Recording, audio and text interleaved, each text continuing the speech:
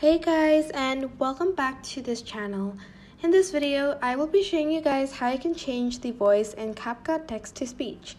So I'm just going to open up a video and then I'm just going to select add audio. Uh, no, actually I'm going to go to text, sorry.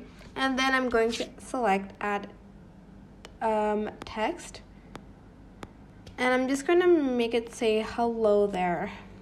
Okay, select the checkmark button, select text to speech, and here is where you can change the voice of the person.